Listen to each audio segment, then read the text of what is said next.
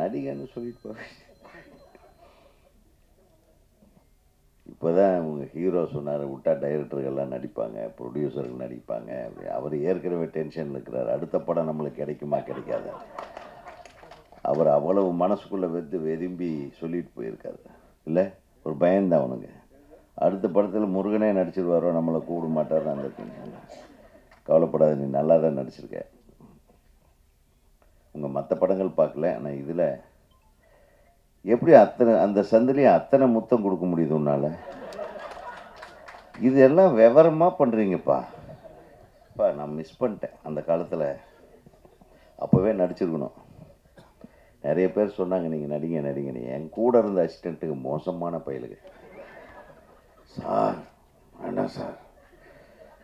அவன் வாய்ப்பு போயிடுன்றதுக்காக என் வாழ்க்கையே முடிச்சிட்டாருங்க என் சந்தோஷத்தையெல்லாம் கெடுத்துட்டாரு. பாரு இவனு ஒருத்தன் தான் அதில். என்ன சிங்கம்புள்ளி கரெக்ட் தானே? அதில் தப்பிச்சு வந்தது பாக்கியராஜ் பார்த்திபன் பாண்டியராஜ். அவங்க இயக்குனராகவும் என்ஜாய் பண்ணிட்டாங்க நடிகராகவும் என்ஜாய் பண்ணிட்டாங்க. இல்லையா? நம்ம கூப்பிட்டா இப்போ அப்பா வேஷத்துக்கு கூப்பிடுறாங்க. டேய் நான் இன்னும் கொஞ்சம் யங்குடா. எம்ஜிஆரே நாற்பத்தி ரெண்டு வயசில் தான் ஹீரோ ஆனார். பெரிய பெரிய ஹீரோக்கள் எல்லாம் என்னை விட வயசானவங்களாக இருக்கிறாங்க. என்னை ஏன்டா ஹீரோ ஆக்க மாட்டேன்றீங்கன்னு நேற்று ஒருத்தர் கதை சொல்ல வந்தார். அவன் டென்ஷன் ஆகிட்டான் சார் நீங்கள் நடிப்பீங்களா மாட்டிங்களா? அப்படின்னு. இல்லை எனக்கு இப்போ ஹீரோவாக நடிக்கலான்னு ஒரு ஆசை வந்திருக்கேன் நல்லா ஃபைட் பண்ணுவேன் நல்லா டூயட் பண்ணுவேன் பாரு இவர் பண்ணார். அந்த வேலையெல்லாம் எல்லாத்த விட நல்லா பண்ணலாம். ஆ? வாய்ப்புகள் தான் கிடைக்க மாட்டேங்குது. ஓ, தயாரிப்பாளரே கொஞ்சம் பார்த்துங்க எங்களையெல்லாம் நான் பேரரசு பேரரசு வேணால் எங்கள் படத்தில் வில்லனை போட்டுக்கலாம். அவன் நீ இருக்கீல்லப்பா எப்படி புகழ்ந்து எங்கள் படத்தை நீ ப்ரொமோட் பண்ணுவ? எங்களுக்கு தெரியாதா? ஆக ஒரு மிகச்சிறந்த ஒரு படம். ரொம்ப நாள் கழித்து ஒரு ப்ளசண்ட்டான ரெண்டு சாங்கு மூணு சாங்கும் பார்த்தேன். அதில் ஒரு சாங்கு மிரட்டிடுச்சு. முதல் சாங்கே வந்து நம்மளை அப்படியே அப்பா. இன்னும் நம்ம தமிழ் சினிமாவில் உயிர் இருக்கு. அது இருக்கு அப்படின்ற ஒரு ஒரு இது வந்துருச்சு. அது இதுன்னு பேசுனா நீங்கள் உங்கள் இஷ்டத்துக்கு ஃபில்அப் பண்ணிக்கங்க. சூப்பராக இருந்துச்சு. ஸோ முருகன் சாதாரணமான ஆள் இல்லை. யார்? டைரக்டரு திருவண்ணாமலையை கிரிவலம் வந்து வந்து என்னென்ன திங்க் பண்ணிக்கிறான்னு தெரியுது. கிரிவலத்தை விட அதிகமாக இவரை சுற்றி வளம் வந்த ஆள் இவர் தான் ரெண்டு பேரும் சொல்லிட்டாங்க மாற்றி மாற்றி கிரிவலன்னு டைட்டில் வச்சுருக்கலாம். ம்? பார்க்குன்னு டைட்டில் வச்சுருக்க நிச்சயமாக இந்த பார்க்கு நிச்சயமாக நல்ல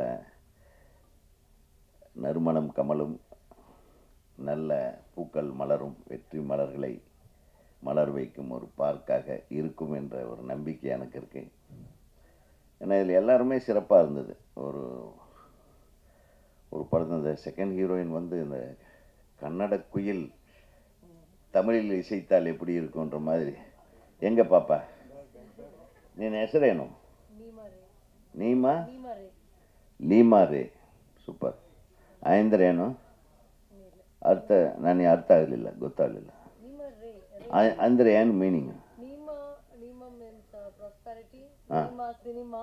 Uh, from uh, Ray, uh, Surya Kiran. அப்பா எவ்வளோ விஷயம் வச்சிருக்கு பாருங்க சரி ரொம்ப ரொம்ப சந்தோஷமாக இருந்தேன் இந்த பிள்ளை தனக்கு தெரிந்த தமிழில் அழகா பயம் இல்லாமல் எங்களை தமிழ் பேசி யாராலும் கொல்ல முடியாது அப்படின்றத நிரூபிச்சிருக்காங்க நீங்கள் பேசுகிற தமிழ் எங்களுக்கு இனிமையாக இருந்தது. கொஞ்சம் தமிழாக இருந்தது. அதனால் அது வேண்டாம். நம்ம அடுத்த கட்ட அரசியலுக்கு திருப்பி போயிடுவோம். நம்ம அம்மா சொன்ன மாதிரி. ஒரு படத்தில் இந்த அமைச்சராக நடித்தேன் பார்த்தீங்களா கருடனில். தெரியாதனமாக அது எனக்கு ஒரு நல்ல பேர் வந்துருச்சு.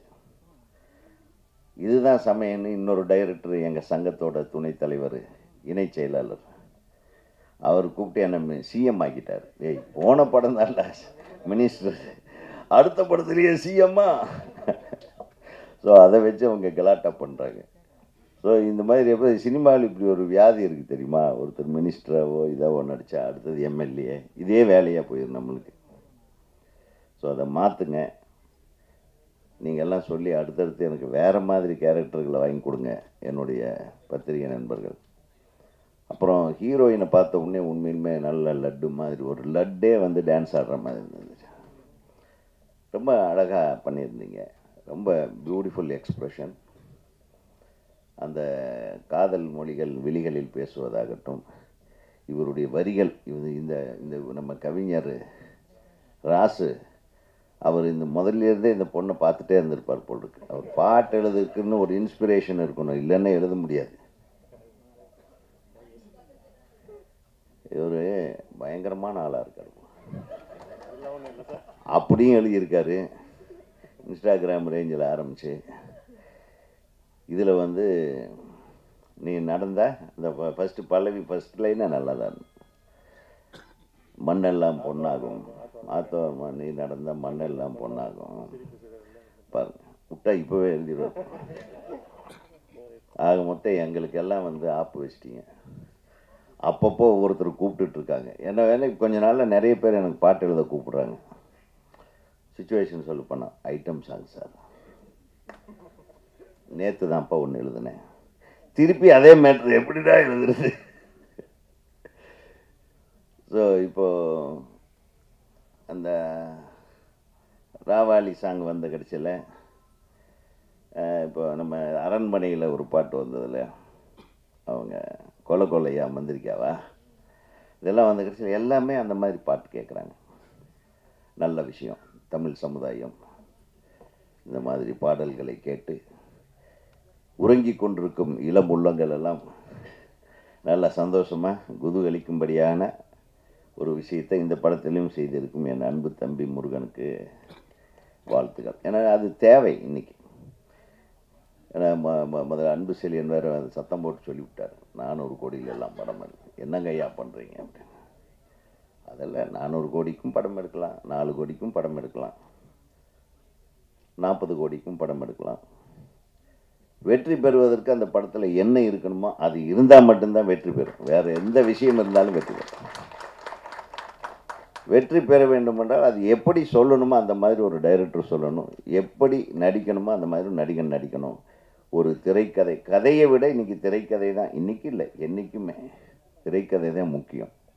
திரைக்கதையை வடிவமைக்கிற முழு பொறுப்புமே இயக்குனர்கிட்ட தான் இருக்கு.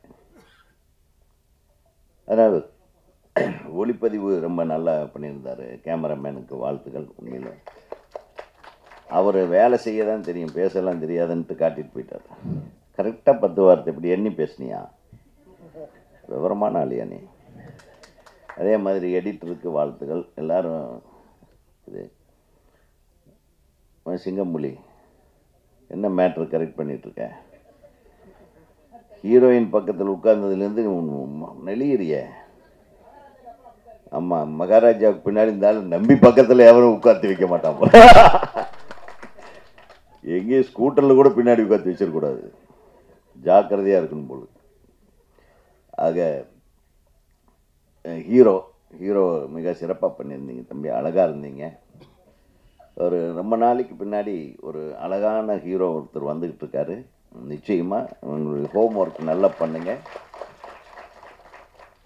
வெறும் டான்ஸ் ஆடுறதும் கிஸ் அடிக்கிறது மட்டும்தான் நடிப்புன்றது நினச்சிக்காம கொஞ்சம் ஹோம் ஒர்க் பண்ணி சும்மா சொல்கிறேன் ஏதாச்சும் மேடையில் இப்படியெல்லாம் பேசினா தானே அப்புறம் அவங்க என் நண்பர்கள் எல்லாம் அதை கிளிப்பிங் போடுவாங்க. இல்லைன்னா அது நான் பேசினாவே இவங்களுக்கு ஒரு பெரிய சிக்கல் என்ன எழுதுனேன். என்னை ஏதாச்சும் வச்சு செஞ்சுட்டே இருப்பாங்க. அது என் தம்பிகை என் பிரதர்ஸ் பண்ணாமல் வேறு யார் பண்ணுறது பண்ணிட்டு ஆனால் நீங்கள் கொஞ்சம் கிஸ் அடிக்கிறத குறைச்சிக்கிட்டு. கரெக்டாக நடிச்சு நல்ல பேரோட வரணும். இது நல்லா இருக்குது சிறப்பாக இருக்குது இந்த பார்க்கோட கதையை வந்து அழகாக கதை கதையை போட்டு ஓப்பனாக சொல்லிட்டாப்புல. ஒரு தைரியம் தான். ஏன்னா யார் ஒருத்தன் கதையை ஓப்பனாக சொல்கிறானோ அவனுக்கு அந்த ப்ராடக்ட் மேலே நம்பிக்கை இருக்குன்னு அர்த்தம். இல்லைன்னா அது ஒரு அழகான காதல் ஒரு அழகான காதல்கள் கா காதலர்கள். அந்த ரெண்டு அழகான காதலர்கள் என்ன கொடுமை நடக்குது தெரியுமே? அவங்க இறந்துடுறாங்கன்னு நினைக்கிறேன். நானாக கெஸ் பண்ணுற கதையை. நீ சொல்லது. அந்த பார்க்கில் அவங்க இறக்குறாங்கன்னு நினைக்கிறேன். அப்புறம் இந்த பார்க்கில் யார் யார் கொண்டானுங்க யார் யார் என்னென்ன பண்ணாங்க அவங்கள இதுங்க என்னென்ன பண்ணுறாங்க இவங்க பேயா வந்து அப்படின்றது தான் கதையாக இருக்கணும். அப்படி இருந்தால் ஓகே அப்படி இல்லாமல் இருந்தாலும் ஓகே. நீ ஏதோ வித்தியாசமாக சொல்லு. அதை மிகச்சிறப்பாக இருந்தது. எல்லா காட்சிகளுமே ட்ரெய்லரில் பார்த்த ஒவ்வொரு விஷயமுமே வித்தியாசமாக இருந்தது. அது மாதிரி எந்த ஒரு விஷயத்தை அழகாக எடுத்துக்கிட்டு அதை அழகாக பண்ணுறதுக்காக மெனக்கெட்டிருக்கீங்க. ஒரு தயாரிப்பாளர் வந்து அத்தனை தொழில்நுட்ப கலைஞர்களையும் அத்தனை நடிகர் நடிகைகளையும் அத்தனை பேரையும் பாராட்டின ஒரே மேடை இதாக தான் இருக்குன்னு நினைக்கிறேன். ஏன்னா அவ்வளவு பொறுமையாக அப்புறம் தான் ஏன்டா பாராட்டினாருன்னா தம்பியை போட்டு உடச்சிட்டாரு. காலையில் அஞ்சு மணிக்கே எந்திரிச்சு எல்லாத்தையும் எழுப்பி விடுற வேலையிலேருந்து ஒரு ப்ரொடியூசர் ஒழுக்கமாக பண் படம் பண்ணியிருக்காரு. ஒரு அஞ்சு நிமிஷம் கூட யாரையும் வேறு மாதிரி திங்க் பண்ண விடல படத்தை தவிர. ஸோ ஒரு தயாரிப்பாளர் எப்படி இருக்கணும் அதுவும் ஒரு புது தயாரிப்பாளர் எப்படி இருக்கணுங்கிறதுக்கு உதாரணமாக நம்ம தயாரிப்பாளர் செயல்பட்டிருக்கிறார். அவருக்கு எனது மனமார்ந்த வாழ்த்துக்கள். இந்த படத்தை நம்பி இந்த படத்தை நிச்சயமாக நல்ல பாடல்கள் இதுக்கு நல்ல வரவேற்பு வரும்னு இந்த இசை வெளியீட்டை உரிமையை வாங்கியிருக்கிற அவர் சாரு ட்ராக் மியூசிக்கு அவர் சார் நிறைய படம் பண்ணியிருக்காங்க. அதான். So I am very thankful to ஏன்னா இந்த மாதிரி புதியவர்கள் எடுக்கிற படத்தை என்கரேஜ் பண்ணுறது மூலமாக அடுத்தடுத்து படம் தயாரிக்கிற நம்பிக்கையை நம்ம வந்து மக்களுக்கு ஊட்டணும். அப்புறம் சொன்னாங்க நிறைய பேர் பார்த்திங்கன்னா இப்போ இங்கே இருக்கிறவங்க யாருமே பெரும்பாலானவங்க இந்த பத்திரிகையாளர்கள் தவிர யாருமே நாங்கள் இந்த நானூறு கோடி படத்துக்கு ஃபங்க்ஷனுக்கெல்லாம் எங்களை கூப்பிட மாட்டாங்க. நம்ம அந்த கேட்டகரியிலேயே கிடையாது. நாங்கள் இல்லை இல்லை மாற்றுவோம்ன்றது இல்லை சார். மாறுவது வந்து இயற்கை. மாற்றம் என்பது இயற்கை. இப்போ நம்மெல்லாம் வந்து சாதாரணமாக நம்ம ரெண்டு கோடியில் படம் எடுத்தோம். ஒன்றரை கோடியில் எடுத்த படம் கிழக்கு வாசல். ரெண்டரை கோடியில் எடுத்தது சின்ன கவுண்டர். நாலு கோடியில் எடுத்தது எஜமான். அவ்வளோதான் அப்போ இருந்த காலகட்டம் அது. அது அப்போ அது பெரிய பட்ஜெட்டுன்னு கூட நினச்சிருந்துருக்கலாம்.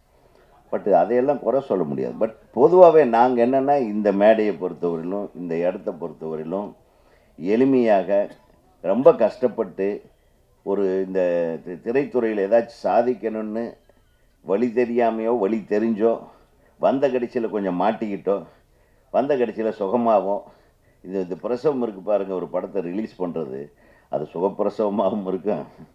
சிசேரியனாகவும் இருக்கும். அப்புறம் பேபி சர்வைவ்டு மதர் டெட்டு அப்படியும் இருக்கும். சிலது மதர் டெட் இல்லை பேபி சர்வைவ்டு இருக்கும்.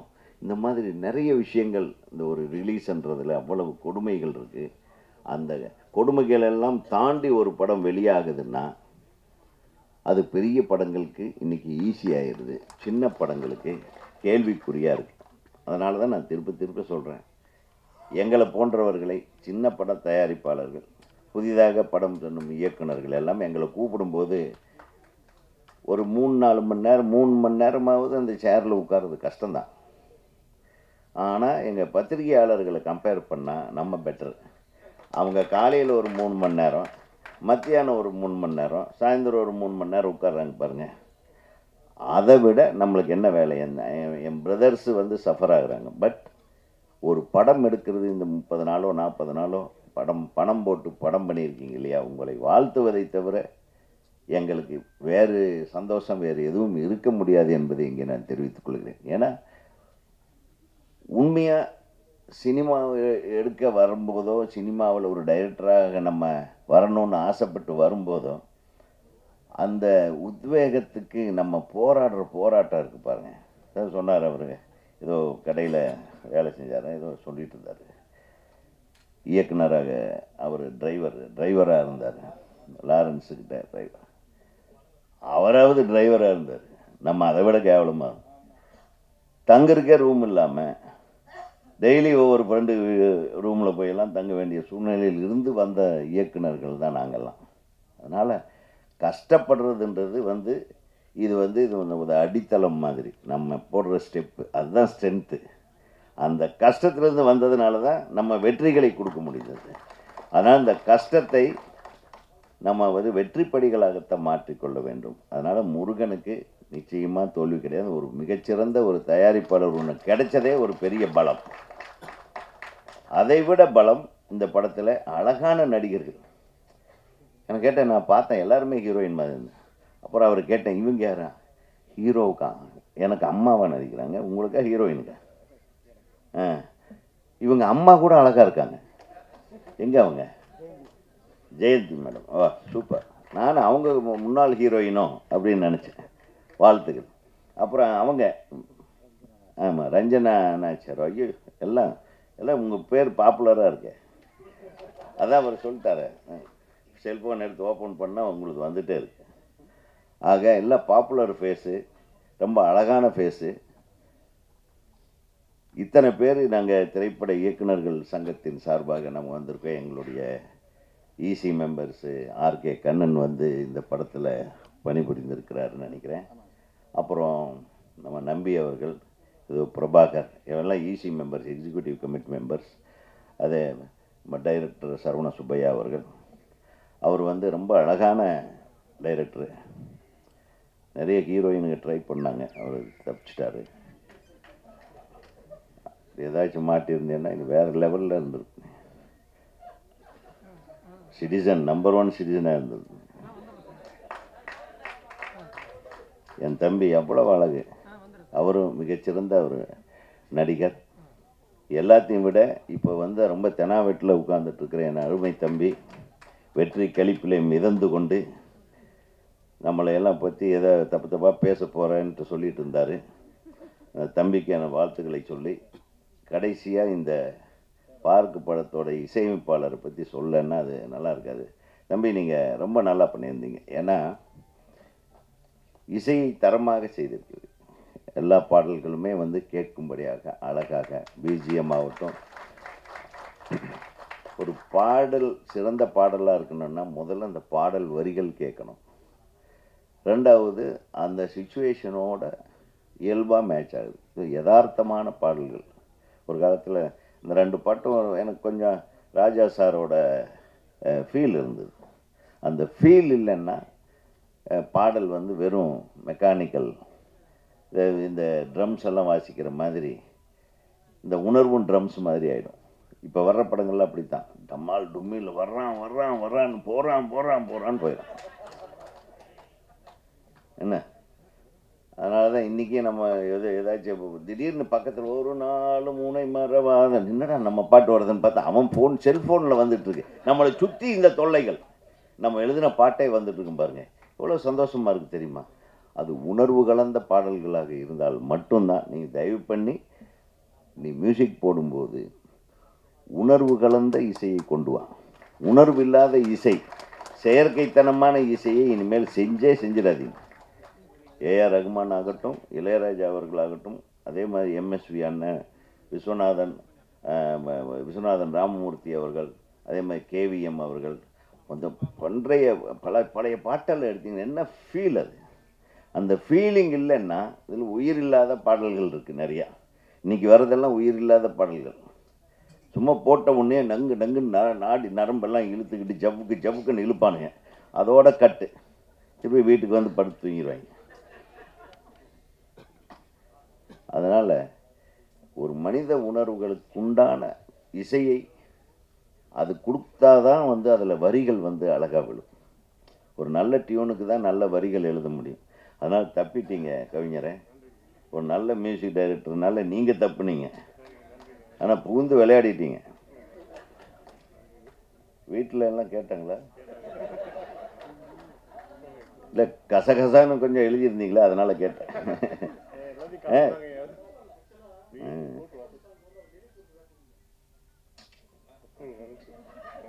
முதல்ல அவர் தான் ஐட்டத்தை ரெடி பண்ணாரா? இவர் பண்ண ஐட்டத்துக்கு அவர் வெயிட் கொடுத்துருக்காரு பாருங்க. அப்புறம் அந்த ஐட்டத்தை யார் செலக்ட் பண்ணாங்க? அது டைரக்டரா ப்ரொடியூசர் காலங்காத்தால் அஞ்சு மணிலேருந்து இதுதான் வேலையா உங்களுக்கு?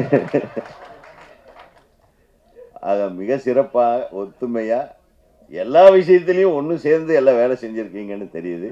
தமிழ்நாடு திரைப்பட இயக்குநர்கள் சங்கத்தின் சார்பாக உங்களுக்கும் இயக்குனருக்கும் அனைத்து தொழில்நுட்ப கலைஞர்களுக்கும் அனைத்து உதவி இயக்குனர்களுக்கும் அனைத்து நடிகர் நடிகைகளுக்கும் தமிழ்நாடு திரைப்பட இயக்குனர் சங்கத்தின் சார்பாக எனது மனமார்ந்த வாழ்த்துக்களை தெரிவித்து விடைபெறுகிறேன். நன்றி வணக்கம்.